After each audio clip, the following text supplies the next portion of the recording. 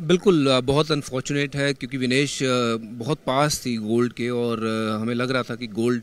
जीत कर वो आएँगे भारत वापस और पिछले कुछ दौर जो थे बहुत मुश्किल वाले थे उनके लिए भी और जो हमने देखे हालात जिन हालातों से वो गुजरी हैं और उस तरीके से गुजरना और उसके बाद यहाँ तक पहुँचना फाइनल नहीं खेल पाना, ये मुझे लगता है कि बहुत ही गुर्दा चाहिए ऐसी चीज़ को पचाने के लिए और पर मेरे लिए वो विजेता है वो जीत के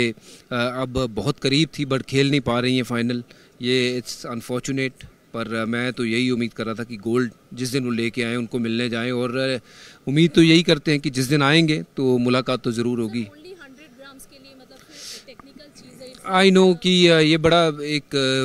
अजीब सा वो है कि सिर्फ़ 100 ग्राम के लिए एक किसी एथलीट को खेलने नहीं दिया जाता है और whereas on the other side अगर हम देखते हैं बहुत सारी ऐसी चीज़ें इसी ओलंपिक में हमने देखी हैं कि अ, महिलाओं के मैच में अगर ट्रांसजेंडर की बात करें तो वो मुद्दा कितना उठा था कि अ, जब वो अ, आपने अलाउ किया है तो शायद कहीं ना कहीं 100 ग्राम